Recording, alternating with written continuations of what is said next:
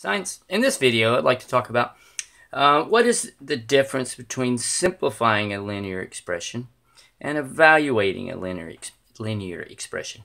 And just refresh your memory, a linear expression is an algebraic expression in which every variable is raised to the first power.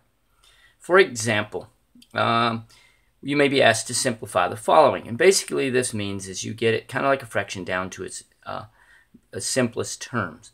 So you can combine like terms and then follow the rules for signed numbers, which are when adding, if the signs are the same, add the numbers, then take the sign of what you're adding. And if they're different, take the difference and take the sign of the larger number.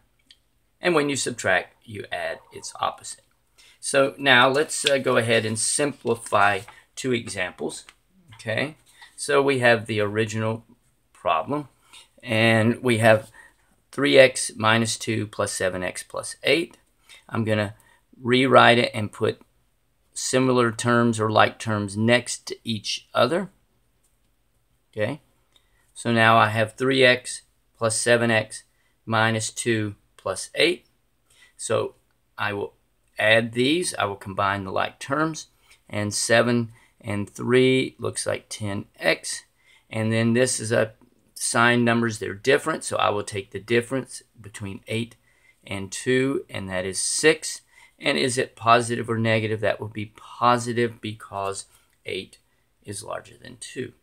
Okay, so here's another example. I'm going to rewrite this and put like terms next to each other. I'm going to put a little mark uh, above it because you have lots of terms going on. Okay, and then we have the y's, negative 4y and negative 9 y. So I'm going to put a little mark above it. And then we have a positive 2 and a negative 10. And now I just combine like terms. 7x, 4x is 11x. A negative 4 and a negative y. Remember, they're the same sign, so I will add and take their sign, which is 13y, and it will be negative. And then now the difference between 10 and 2 is 8. Will it be positive or negative? It will be negative because 10 is larger than x. So there we have, we have 11x minus 13y minus 8. Okay, that is simplifying. Now, in order to evaluate, what you do is you actually have a number to plug into the expression.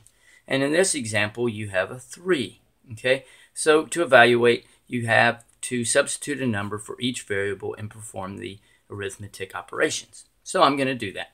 You can just plug the number in, but I like to simplify first. So I'm going to put like terms next to each other, like I've done before in the other examples of simplifying. Then I'm going to combine like terms. Okay, so that gives me 10x plus 6. And then I'm just going to plug 3 into it. 10 times 3 is 30 plus 6 which is equal to 36.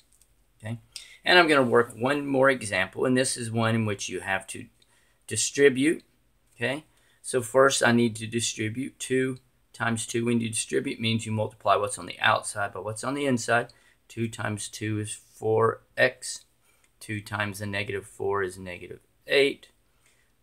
Okay, 3 times the negative 2 is a negative 6 and 3 times 3 is a positive 9x. I'm going to combine terms next to each other, similar terms. Okay.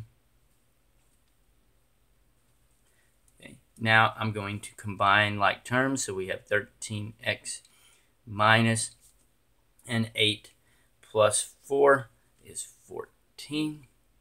And it is negative because when you uh, are subtracting two negatives or adding two negatives, add and take the sign of the two numbers. Okay, now I plug 2 into them, so 13 times 2 is equal to 26 minus 14.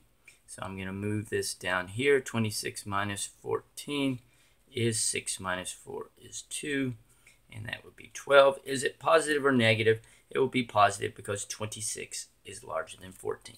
So there we go, how to simplify and evaluate linear expression. I hope that helps, and thanks for watching. Moo Math uploads a new math and science video every day. Please subscribe and share.